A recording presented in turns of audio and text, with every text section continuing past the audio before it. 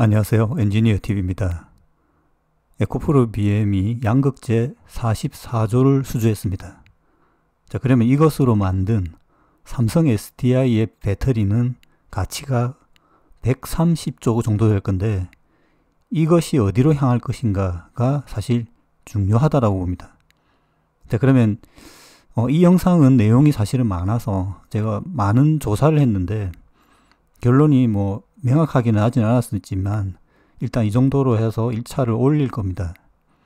특히 이제 데이터 위주로 하기 때문에 데이터를 모으는데 시간이 많이 필요하고 현재 정리 통합하여 어, 복합적인 예측을 시도하고 있습니다. 자, 끝까지 봐주시길 바랍니다. 음, 삼성 SDI가 44조를 양극재를 구매한 의도는 무엇인가? 라는 거죠. 자, 이건 제품 로드맵입니다. 현재 2023년이지만 현재 판매되는 거는 젠5입니다.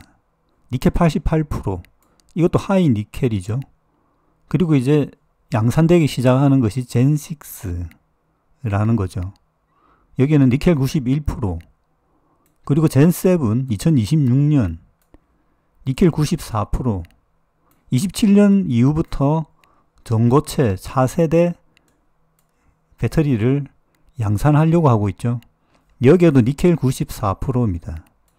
88%에서 94%까지 80% 이상 하이 니켈이기 때문에 하이 니켈 양극재의 어, 공급이 안정적으로 와야 되는 게 삼성으로서는 아주 중요한 상황입니다. 계약 공시 내용을 보면 여기도 보면 중요한 내용이 하이 니켈계 NCA 이렇게 돼 있어요. 그러니까 니켈 80% 이상인데 앞에 내용을 보면 90%대가 앞으로 필요하겠죠. 기간으로 봐도 24년부터이지 않습니까? 그죠? 젠6부터 필요하다라는 겁니다. 자, 43조에 5년입니다. 어느 짧은 기간이라고 할 수도 길기간도 할 수 있는데 금액이 워낙 크기 때문에 예측은 일단 24년에 7조, 28년에 10조의 어, 신규 양극재 공급차가 필요하다라고 볼 수 있습니다. 그리고 이 가격은 금액적인 부분이죠. 실제 여기 계약은 어떻게 되어 있냐면 무게 단위로 되어 있습니다. 그래서 금액 환산, 그러니까 무게를 제시하지 않는 이유는 무게가 많은 정보를 담고 있기 때문입니다. 그래서 단가를 알려주지는 않죠. 최, 최근 판매 단가를 알려주지 않죠. 현재 NCA가 어, NCM, 뭐 인산철 이런 것보다 훨씬 훨씬이라기보다 조금 비싼 걸로 알려져 있죠. 그 수출 가격 보면 어, NCA가 비싸거든요. NCA가 NCM보다 좋은 양극재냐 아니냐 를 판단하기는 쉽지는 않습니다. 특성이 있습니다. NCA가 파워, 전압의 강점이 있습니다. 전기차에 보면 파워라든지 그런 차들, 그러니까 어떻게 보면 NCA가 필요한 차들은 약간 프리미엄급일 가능성이 높죠. 주행거리도 중요하지만 주행거리 이후에 파워도 좀 필요할 때 씁니다. 테슬라가 NCA를 최초 초기에 도입했죠. 그건 이제 파나소닉 거고. 이 가격은 향후 원재료 시세 변동에 따라 변화될 수 있다라는 거죠. 음, 시세가, 그러니까 양극재 단가가 올라가냐 내려가느냐에 따라서 50조가 될 수도 있고 40조가 될 수도 있습니다. 5년인 기간이고 워낙 규모가 크기 때문에. 자, 그러면 어디에 쓰일 거냐? 글로벌 전기차 수요. 음, 신규 고객인가 아닌가, 어디에 공급하느냐는 사실 알 수 없죠. 엄청 중요한 정보고, 사실 에코프로 BM이 삼성 SDI 납품하는 이 미공개 정보도 엄청 중요한 정보입니다. 이건 뒤에서 다시 설명을 드릴 건데, SDI도 신규 고객을 확보했을 가능성이 높겠죠. 근데 거의 공개되고 있지 않죠. 이전에 한번 공개된 게 현대차와하고의 계약이죠. 그래서 보면 자 판매 공급 지역 국내 및 해외 공장 이렇게 되어 있는데 국내 같은 경우에는 울산 공장, 해외 공장 같은 경우에는 헝가리, 현재 미국인데 24년이면 헝가리겠죠.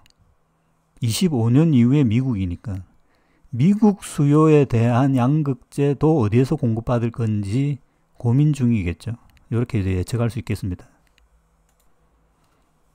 자, 전체 어, 전기차 시장 대비 양극재까지 내려가는 이런 분석 자료들이 최근 삼성과 그 하이 하이 투자가 있는데 이 두 가지 자료를 가지고 조금 음, 섞어 보겠습니다.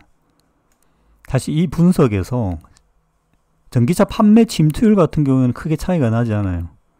근데 배터리사로 내려오고 그 다음에 양극재까지 내려올 때 많은 차이들이 있거든요, 사실. 이 분석이 어, 정확하게 이루어지느냐 아니면 대충 하느냐 아니면 그냥 하느냐에 따라서 양극재 어떤 규모가 수배, 아, 몇 배씩 차이가 날 수 있습니다. 이게 어, 요즘 겪는 많은 오류 중에 하나인데 네, 여기도 2030년 나왔지만 어, 중요하게 사실 봐야 되는 건 23년 이후부터 26년까지죠. 자, 여기에서 보면 저는 25년이 중요한 시점으로 보는 이유가 23년에 960 기가 기가입니다. 기가와트에서 190 1,900 1900이죠. 26년 두 배죠. 이 구간이 상당히 중요하다라는 겁니다. 이게 23년 이후 24년부터 늘어날지 25년부터 늘어날지 26년을 반영하기 위해서는 아무리 늦어도 24년 하반기부터는 어, 증설이라든지 생산량이 늘어나야 됩니다. 근데 이게 전기차 판매가 이루어지지 않으면 힘들어지겠죠. 셀 업체들, 양극재 업체들. 그래서 지금 전기차 가격이 하락해지는 이유도 이때에 이때 효과를 누린다. 이렇게 생각해도 될 것 같습니다.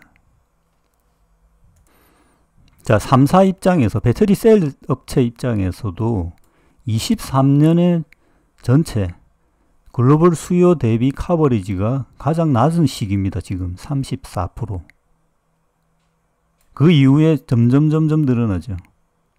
28년에 55%까지 늘릴 거라는 겁니다. 계획상인데 지금이 가장 셀 업체들한테 안 좋은 시점이다. 중국 영향도 있고 인산철 영향도 있고 자 그러면 그의 양극재 업체들도 바로 반영이 되겠죠. 자 그런 시점이기 때문에 양극재의 현재 캐파는 오버 오버다. 오버라는 겁니다. 이 부분이 많은 시각차가 있죠. 근데 이 양극재만 생산해서 있으면 셀 업체들이 사줘야 되는데 셀 업체가 팔 데가 없으니 당연히 양극재는 팔 데가 없잖아요. 이 구조를 자꾸 헷갈리는 분들이 있더라고요. 지금은 양극재의 포화 상태다. 그게 24년, 25년 돼야 해결이 되죠. 왜냐? 25년에 6년부터 보면 양이 늘어날 가능성이 있기 때문에. 근데 전반적으로 캐파는 오버 캐파일 가능성이 높다 이렇게 봅니다. 이거는 삼성만 그런 게 아니고요. 전반적인 해외 시각도 마찬가지입니다. 그래서 지금 보면 향후 증설에 대해서 양극재 업체들의 증설이 고민을 많이 해야 된다는 거죠. 최근 문제가 되는 게 인산철 배터리 침투죠. 이것과 같이 리튬 가격 하락이 이루어지니까 양극재 단가 하락도 같이 이어지고 전기차 배터리 가격 하락도 이어지는 거죠. 자, 이렇게 되면 한국 양극재 기업들은 인산철을 생산할 건가라는 고민도 하잖아요, 지금. 근데 사실 보면 인산철은 단가나 이익이 내, 내기 쉽, 나기 쉽지 않은 양극재예요. 한국 업체 입장에서. 그 인산철 가, 생산을 늘려서 해결될 수 있는 문제가 아닙니다. 결국 승패는 인산철을 쓰지 않는 사몽계의 프리미엄급의 침투를 더 높여야 된다는 겁니다. 자, 이렇게 되면 한국 양극재 기업들은 하이니켈이 많으니까 이 업체들 간의 경쟁이 현재 중요하다는 겁니다. 그래서 양극재 업체들 같은 경우에는 지금 수주를 따야 되는 겁니다. 큰 수주를 장기간에. 자, LG 엔솔 같은 경우에는 최근 제가 미드니켈 이야기도 했잖아요. 그죠? 인산철보다 비싸지만 하이니켈보다 싼 겁니다. LG 엔솔은 이것을 어디에 어디 양극재 업체한테 받을 거냐? LG 화학일 가능성이 높잖아요. 내재화 제가 설명을 드렸죠. LG 화학의 내재 LG 엔솔의 내재화율은 LG 화학인 것이고 삼성 SDI 내재하는 에코프로 BM의 자회사인 합작사가 연관이 돼 있어요. 그래서 약간 다르지만 LG 화학의 LG 엔솔의 내재화가 훨씬 강력하다는 겁니다. 그러니까 여기에서도 하이 니켈이 빠지죠. 에코프로 BM은 하이 니켈 전문 기업인데 미드 니켈을 생산한다. 그거는 어, 영업 이익률이 떨어지는 행위다. 인산철을 생산하는 행위다라고 저는 보는 겁니다. 여기도 보면 LFP 비중이 높아진다. 그리고 하이니켈이 줄어들죠. 줄어든다기보다 양은 늘어나는데 비중이 줄어든다는 거죠.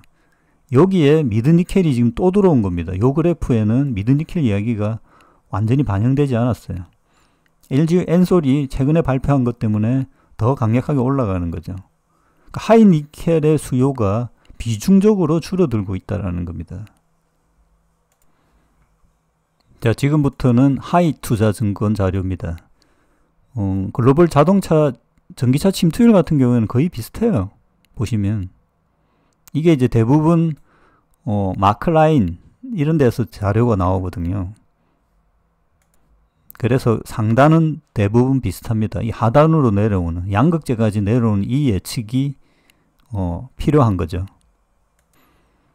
셀 캐파 전망은 어, 2030년까지도 있지만 이거는 중요하지 않다. 현재 25년이 1차적으로 지금 현재로는 중요하죠. 앞으로 2년간의 구간이고 이게 26년 7년 넘어가는 이 상황이 더 중요한데 어, 이렇게 의문이죠, 사실.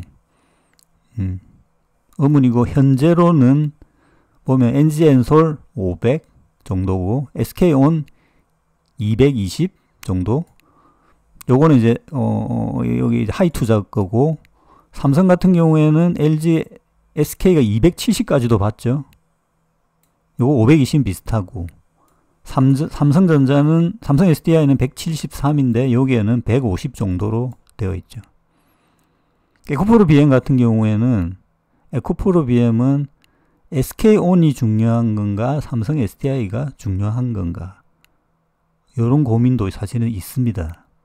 지금은 SK온이 훨씬 중요해 보이죠. 캐파가 더 크니. 근데 2030년에 보면 대충 애매하게 해놨어요. 특히 보면 SK와 삼성이 비슷해 보입니다. 300 정도. 그러니까 이게 지금 보면 에코프로 BM 입장에서는 삼성과 SK의 비중을 어떻게 둘 건가가 항상 고민이 될 수밖에 없죠. 자, 그러면 셀 업체들의 고객 변화를 봐야 될 것 같습니다. 이 부분이 양극재 업체들까지 영향을 미치게 되죠. 자, 그거를 중심으로 만든 자료입니다. 하이투자에서. LG 엔솔 보면 테슬라가 가장 중요해 보이죠. 테슬라가 플러스 되죠. 여기 보면. 폭스바겐은 마이너스가 됩니다. 근데 폭스바겐은 이 네 개 기업과 다 연관이 있으면서 왔다 갔다 하는 기업입니다. 폭스바겐은 항상 늘리지 않고요. 중국 기업, 한국 기업, 한국 3사와 다 연관이 있습니다. 최근에는 SK온에 플러스 되죠. 폭스바겐이 이렇게 하는 형태의 이유가 있습니다. 폭스바겐이 이런 어, 소싱 관련된 전략이 좋은 기업이거든요. 차를 얼마나 싸게 만들고 전체적으로 플랫폼 경영을 하는 기업인데 자, SDI 같은 경우 BMW가 중요하죠.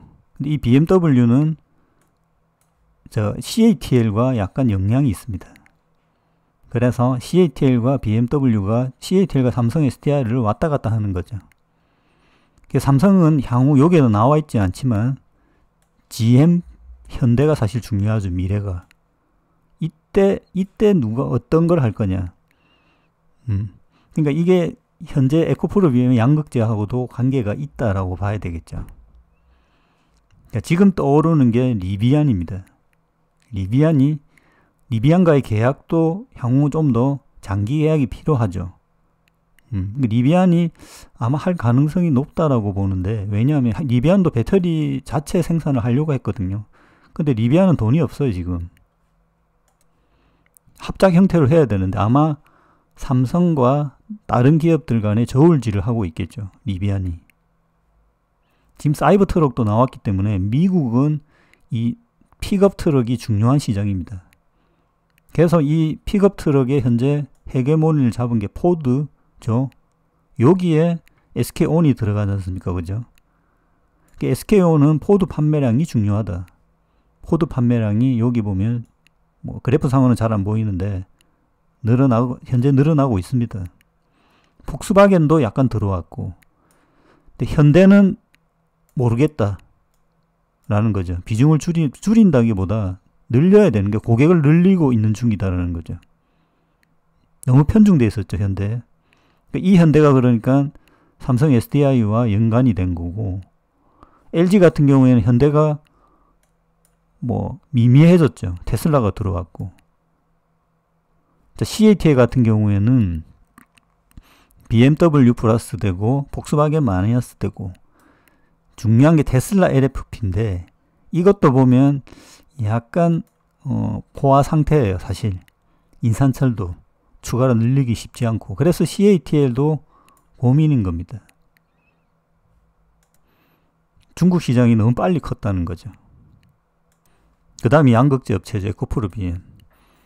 음, 그 에코프로비엠 요것 이 데이터는 SNE 자료인데 완벽하지 않습니다. 이런 자료들은 대부분 다 대비고 추정에 추정에 의해서 데이터를 만드는데 어, 이런 거를 하지 않는 경우보다는 정확하기 때문에 여기에다가 나만의 데이터를 사실 넣어야지 추정이 가능합니다. 근데 대부분 다 이런 것들이 핵심 대비이기 때문에 정확할 수는 없습니다. 안 하는 것보다는 훨씬 낫겠죠. 이런 문제 때문에 이런 자료들이 명확하지 않기 때문에 막 내피셜을 굴려서 미래 전망을 당겨와서 우리를 현혹하게 되는 겁니다. 그 에코프로 BM은 SK, 삼성이 중요하니까 이 삼성이 쭉 현재 여기 주, 는 것처럼 보이죠. 비중이 리비안이 늘어나니까 리비안이 커져 보이는 거고 그러니까 삼성 LSK다 라는 거죠. 사실 오늘 영상을 만들기 위해서 제가 엑셀, 엑셀 작업을 하고 있는데 이 부분이 시간이 엄청 걸립니다. 그래서 명확한 미래 정보까지는 예측하지 못했습니다. 데이터로. 지금 네피솔로 일단 일부 이야기 드리는 거고 나와 있는까지 설명을 드릴 겁니다. 향후 이게 쌓이면 다음 주 내로도 한번 다시 어, 영상을 만들 겁니다. 그러니까 에코프로 BM이 27년 이후의 상황이 어떻게 되느냐가 지금 고민이거든요, 사실. 25년은 거의 확정되고 있는 겁니다. 에코프로 BM 캐파가 계획도로 되나?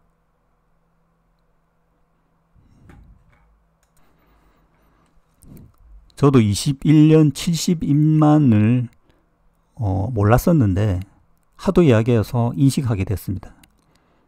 현재 그게 되는지 안 되는지는 확정적이지 않습니다. 지금부터는 고민해야 되는 거죠. 상황이 바뀌었기 때문에. 자, 캐파 24년 12월 28만 정도까지 나와 있죠. 이 이유를 논하는 것은 의미가 없다. 어, 에코프로도 그래 생각합니다, 사실. 71만을 이야기하는 여러 가지 상황이 있었기 때문에 했겠죠.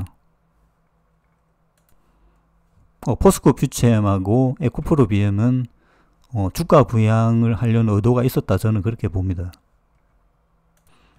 자, 가장 최근 시설 투자 공지가 캠9이죠. 캠9. 자, 1분기, 23년 1분기 기준으로 18만 톤이다, 현재는. 이거를 27년 71만 또 나오죠. 확대할 예정이었다. 뉘앙스 바뀔 겁니다, 아마. 자, 이런 부분에 대한 디테일한 해석이 사실은 지금 필요하다. 6개월, 1년 단위로 할 때마다 매출이 확확 차이 나기 때문에. 어떻든 캠9은 예정보다 당겨졌다라는 겁니다. 이 부분은 좋은 상황이죠. 자, 이 그림이죠. 자, 이 그림으로 저도 많이 어, 이야기를 했었는데, 음, 좀 고민을 했었어야 되거든요. 지금은 좀 고민을 하려고 합니다. 확정은 26년 정도까지다. 이 이유는 미확정이다라는 거고요. 30년, 100만 이런 것과는 하지 안 하면 안 된다라고 봅니다. 이 그러면 이제 잊어야 한다. 실적 위주로 접근해야 되면서 시, 실적 위주로 접근해야 되고 특히 2030년 100만 톤은 정말 문제적인 인식이라고 봅니다. 이런 걸 말하는 경영진도 문제라고 봅니다. 지금은 가동률, 생산성, 영업이익을 높여야 한다라고 보는데 그리고 추가 R&D도 현재 줄고 있죠. 이러면 곤란하다는 거예요. 그 주주들은 사실 이런 걸 지적해야 된다는 겁니다. R&D 없이 2030년 100만 톤이면 매출만 많고 영업이익은 없는 공룡이 될 뿐입니다. 에코프로 BM은 공장 오창과 포항의 어떤 상황이 다릅니다. 포항이 하이니켈이고 SDI 여기 안 나와 있는데 SK 항이 섞여 있습니다. 그리고 헝가리, 캐나다 이렇게 연결되는데 순차적으로 캐파 증설 분석을 해야 되고 하고 있죠. 하고 있는데 이게 이제 현실화되는 시점이 중요하죠, 지금은. 71만 톤 앞으로 할 거다 이런 게 중요한 게 아니고 그리고 요게 어디로 갈 건지 고객 분석도 해야 된다는 겁니다. SK가 삼성이 항상 에코프로 BM을 지켜줄 거다. 그런 건 없습니다. 자, 지금 보면 포항 공정보다 더 중요하게 된 거. 이번 어, 수주하고도 관계 있는 게 헝가리 공장입니다. 투자금이 9천억이 정도 되고 양이 많습니다. 10만 8천 토 규모다. 이 가동 시간이 시작이 21 라인이 두 개인데 24년 하반기 1공장 가동. 그러니까 24년 하반기부터 매출로 잡히는데 당길 건지 아닐 건지는 고객에서 결정되겠죠. 25년 하반기 2공장 24년 25년 구간에서 10만 톤 지금 18만 톤이라고 했잖아요. 지금 18만 톤이 어마어마한 규모입니다. 자, 이거 두개 더하면 18만 톤. 그리고 지금 하고 있는 9만 톤. 그죠? 해외 공장 헝가리 10만 톤. 그리고 여기 보면 28년 뭐 대회비랑 이게 무슨 대회비인지 모르겠어요. 요것도 변수인데 이거는 28년이기 때문에 고객이 정해지지 않아서 없다고 봐야 됩니다. 사실은. 냉정, 냉정하게 이야기해서 그렇다는 거예요. 근데 여기 또 특이한 게 같은 돈인데 1조 3천, 1조 2천억인데 캐파는 두 배가 차이 나는 건지. 여기 SK 온 포드와 캐나다 공장입니다. 이것도 신기하죠. 일단 4.5로 시작해서 하나 더 늘린다는 걸 오타로 한 건지, 6천억을 그 먼저 하고 그 다음에 6천억을 한다 이렇게 해야 되는데 금액만 뭐 강조하다 보니 이렇게 된 게 아닌가. 그러니까 블루베리 캠퍼스 대비 보면 28년이 이게 될까 안 될까 지금 의미가 있나? 28년이면 빨라도 26년에 공시가 가능합니다. 지금 공시 패턴으로 보면 자, 솔직히 SK를 조금 까야 될 것 같은데 음, SK 이노와의 계약은 공시가 돼요. 이게 2.7조 계약건에서 이게 올해까지 공급이 끝납니다. 그리고 신규 계약이 나올 수도 있습니다. 근데 이 계약보다 그러니까 이 공시는 정상적인 공시로 보이는데 이전에 10조 계약 있죠. 저도 이거 아무 생각 없이 봤는데 오늘 다시 한번 보니까 이거는 시작일이 24년입니다. 3년, 24, 25, 26, 3년간 연간 3.5조 정도인데 이런 공시를 21년에 왜 한 건지. 자, 의도는 미리 캐파 확보를 위해서 했겠죠. 근데 이 금액이 지금하고 어떤 영향을 미치는 건지. 이것도 보면 최근 3개월 평균 계약 환율 적용, 그리고 계약 물량 적용을 해서 이 금액도 현재 달라지겠죠. 뭐 디테일하게 챙기지는 못했지만 뭐 내려가지는 않았을 것 같고 그러니까 24년부터 공급할 계약을 21년에 한 거다. 삼성은 1년 차이가 났죠. 이런 것도 조금 음, 문제가 있다라고 봅니다. 자, 이 에코프로 BM의 추정 캐파 자료. 요게 이제 리튬 추노근 텔레그램에서 가져온 건데요.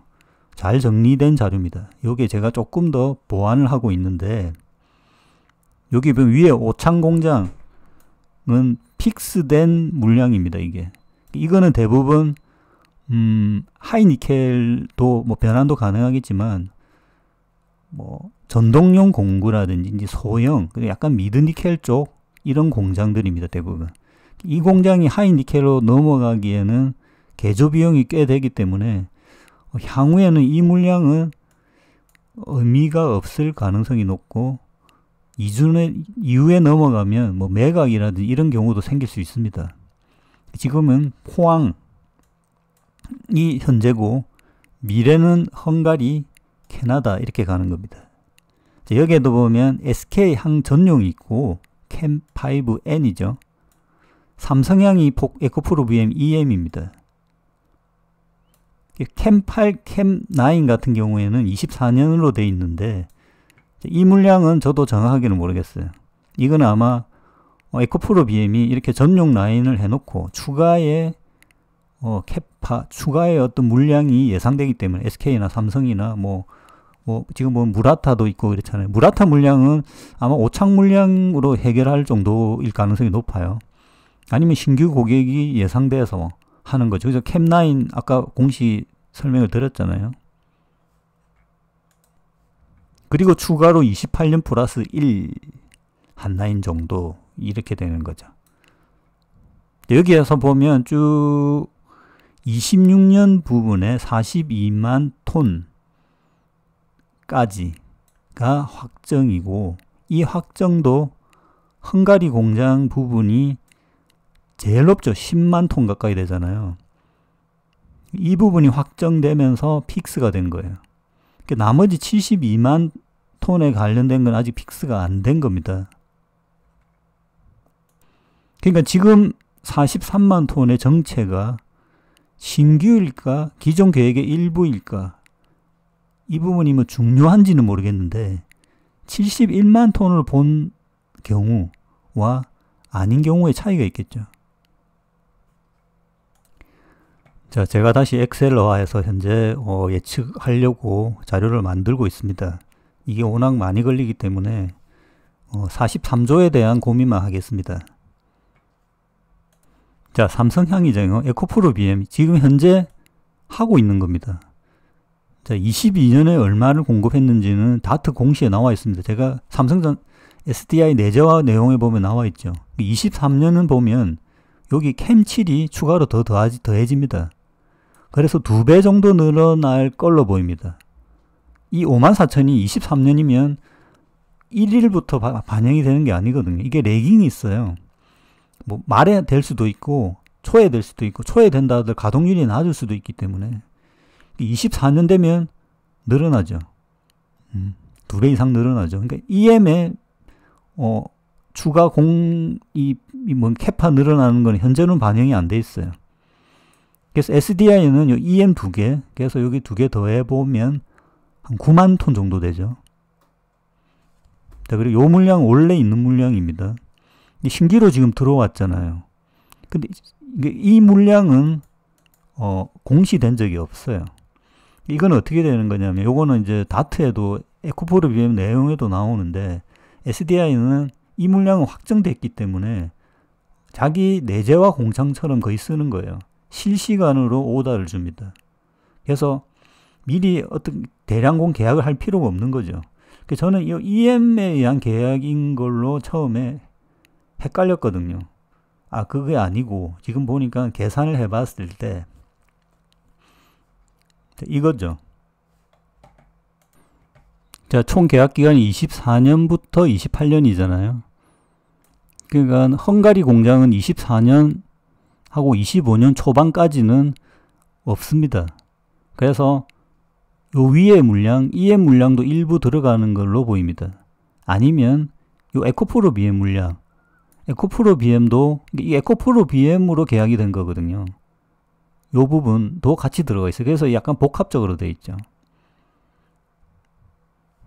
그래서 이 전체적으로 합산해서 이 매출로 환산해 보면 요게 소까지거든요.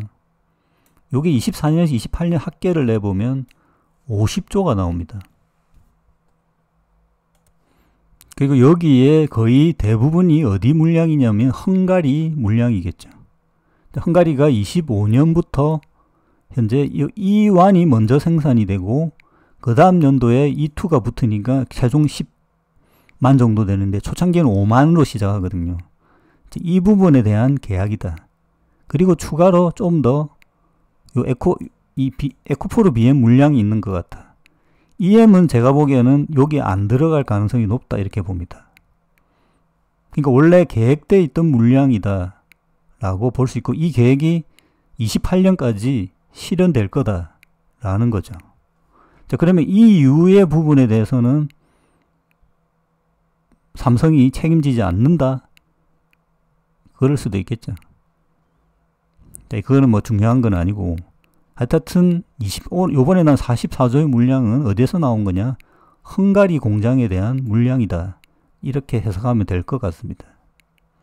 요게 저는 42만 톤이 아까 27년 여기 보면 26년까지 결정됐는데 여기 보면 52만이 늘어났죠. 자, 계획상으로는 52만까지고 여기에 28년 캠 10, 10 대회비가 들어오면 가능할 것 같다. 요 이후에 지금 그러니까 뭐가 들어올 수 있느냐를 현재 고민해 봐야 되는데 그 부분에 대해서 확정시켜 주지 않습니다. 지금 보면. SK가 그런 일을 할 수도 있겠죠. 아까 공시 내용으로 SK는 진짜 미래를 당겨왔잖아요, 이전에. 그런 걸 해줄 건가, 안 해줄 건가. 근데 그걸 할 필요가 있는지 없는지도 좀 모르겠어요. 사실 지금 사, 상황을 보면. 주가 부양을 할 이유에는 그럴 이유가 없다라고 보거든요. 자, SK온의 양극재 공급사입니다. SK 그 입장에서는 싸게 양극재를 공급하는 게 목적이죠. 어, 하이니켈을 따지고 보면. 자, 여기에 보면 어, 요 유미코아는 전구체라고 돼 있어요. 이거는 조금 애매한데 이 전구체를 또 어디에 쓴다는 건지 에코프로 BM에 쓴다는 건지 모르겠어요. 전구체만 사서 뭐 하자는 건지 자, 그것도 있고요. 에코프로 BM 보면 24년 요게, 요게 들어와 있죠. 10조. 내년에 시작됩니다. 그 2조도 있었고 지금 현재 미래가 없죠. 근데 이 미래는 10조 벌써 나왔잖아요. 추가해야 된다는 거죠. 추가. 추가를 어떻게 할 거냐? 에코프로 BM을 할 거냐? 아닐 거냐? LNF도 지금 들어오죠. 지금 SK온과 에코프로 BM은 10조는 있지만 추가에 대해서 고민을 한다는 거죠. 그러니까 SK 입장에서는 에코프로 BM 계획이 되어 있으니까 에코프로를 에코, 에, 그 에코프로 BM을 더 할 건지 아니면 LNF를 연장할 건지 유미코아를 들고 올 건지 중국 기업을 데려올 건지 여러 가지 고민이 있다는 거예요, 지금. 자, 배터리 3, 4, 원재료 매입가 추이 3분기 다트 기준으로 해서 기사화된 건데 저도 이전에 이걸 알고 있었거든요. 몇 번 내재화에도 제가 언급을 드렸고 조금 이상한 게 있어요, 사실. 이게 여기 보면 삼성 SDI는 거의 바보짓 하는 것 같아. 보면 원재료 매입가가 떨어지지 않아. 지금 리튬 가격 폭락하고 있는데 그래서 SK온하고 LG엔솔은 떨어뜨렸어요. 정상적이에요. 근데 영업이익은 SDI가 제일 좋아. 이것도 말이 안 되잖아요. 그죠?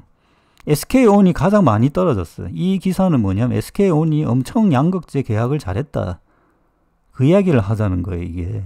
왜 이런 이야기를 했을까? 여기 보면 SK온이 LG 삼성 대비 음, 11%, 29%뭐 차이가 났다는 거예요. SK온의 하락률이 가장 컸던 이유는 요 관계자가 뭐 언지를 해줬겠죠. 비연동 메탈의 연동 확대를 뽑았다. 자, 여기에서 뭐 모르겠지만 가장 손해를 봤던 기업이 어디냐 라고 보면 LNF 에코프로 BM이겠죠. 단가 하락을 시켜줬으니까. LNF도 영업이익률이 안 좋아졌었죠. 에코프로 비엠도 이번에 떨어졌잖아요. 그죠? 에코프로 비엠이 영향이 좀 더 덜했던 거는 삼성이 단가를 더 쳐줬겠죠. 반반이니까 거의. SK는 떨어뜨렸으니. 계속 떨어뜨렸잖아요. 여기서부터 벌어지잖아요. 2분기, 3분기. SK온의 원자력, 그러니까 그 양극재 매입 하락률이 가장 높았던 것은 그만큼 경쟁력 있는 계약, 싸게 계약을 했다는 거지. SK하고 계약을 했을 때 싸게 공급할 수밖에 없는 무슨 요인이 있나? 라는 겁니다. 그, 그게 나타났잖아요. LNF와 에코프로비. 에코프로비엠은 영향이 반반이니까 바로 직격탄 나타나잖아요. 리튬 가격 때문에 어, 하락했다라고 영업이익이 하락하는 거는 조금 영업이익 양이 하락하는 건 이해가 되는데 영업이익률이 하락하는 거는 저는 솔직하게 얘기하면 조금 이해가 안 돼요.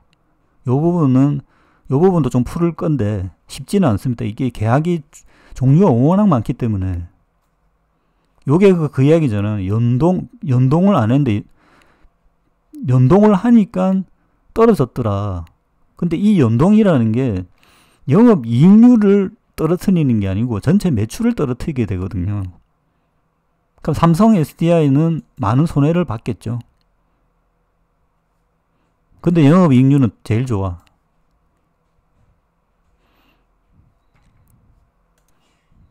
자, 잠깐 넘어 다른 걸 보면 잠깐 음, 삼성 SDI 2분기, 3분기. 그러니까 지금 에코프로 BM의 양극재가 얼마나 영향을 미칠 수 있을 건가라는 부분에 대해서 뭐 어, 셀로 만들면 40% 50% 영향을 줄 거다라고 착각하시는 분들이 많은데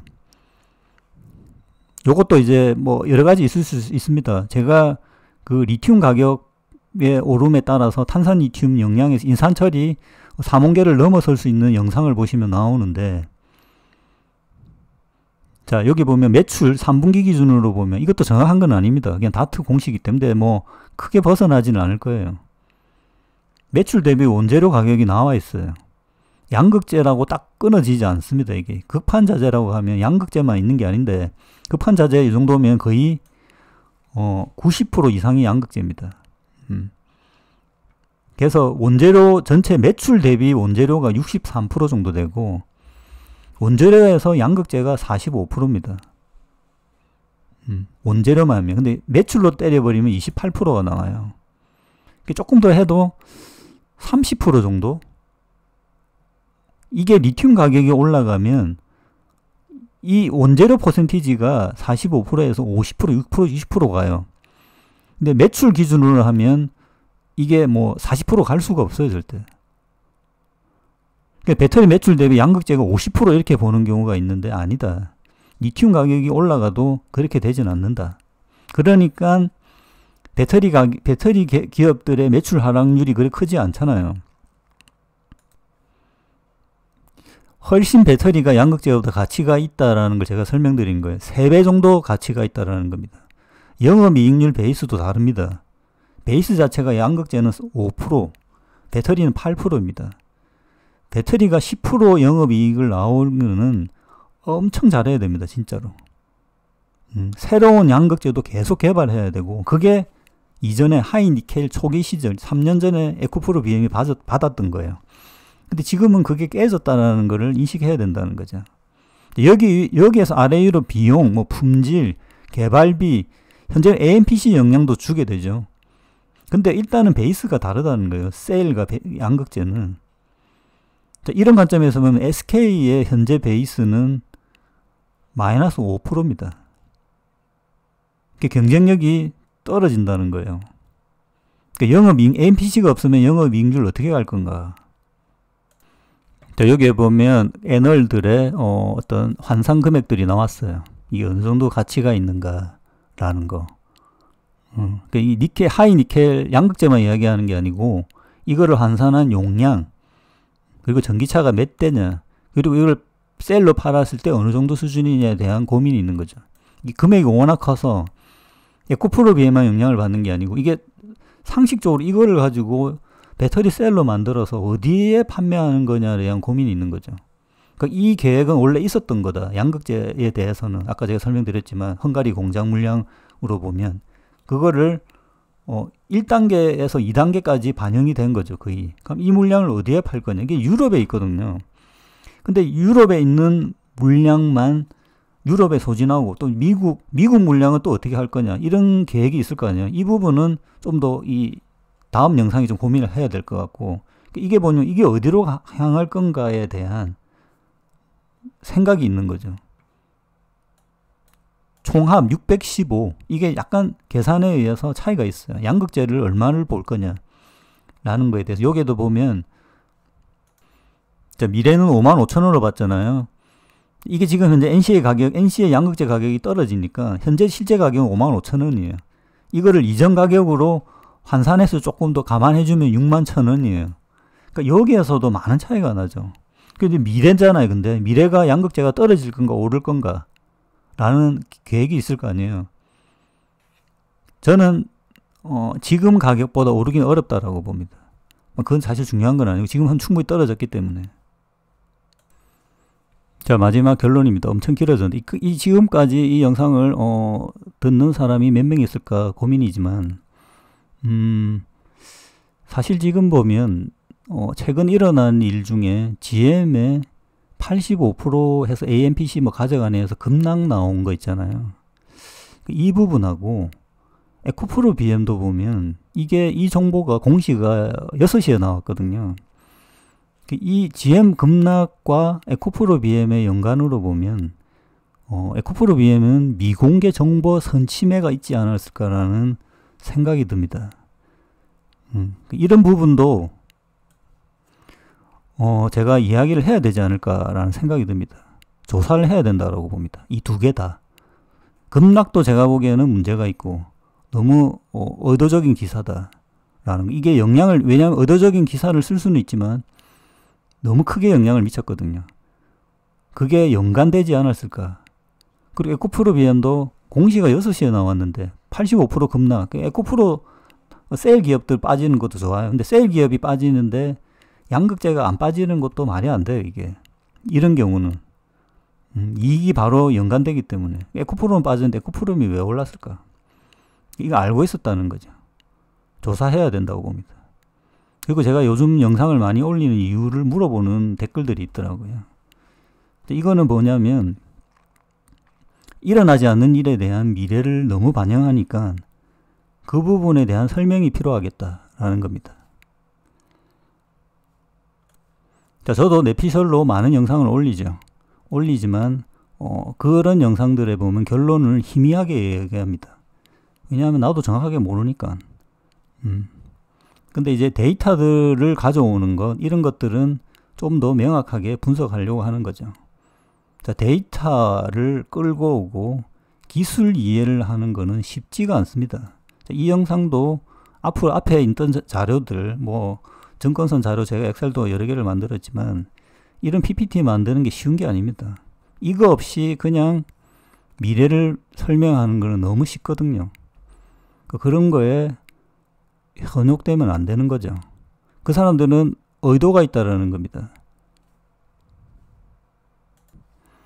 에코프로 BM이 가장 어, 좋은 기업이라고 생각될 수 있는 부분이 구반방 기술입니다.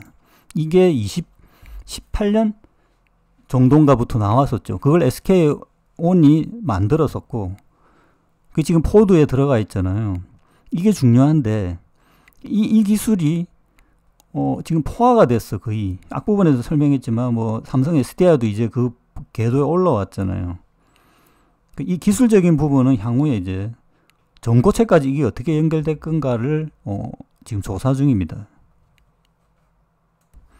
제가 다소 내용이 어떻게 생각해 보면 에코프로 VM을 어, 떻게 어, 까는 내용으로 볼 수 있는데 그렇게 이해할 수 있는 에코프로 VM을 제일 처음 발굴한 사람도 어, 저라고 할 수 있기 때문에 저의 초기 영상들 보면 에코프로 VM에 대해서 엄청난 호의적으로 이야기했습니다.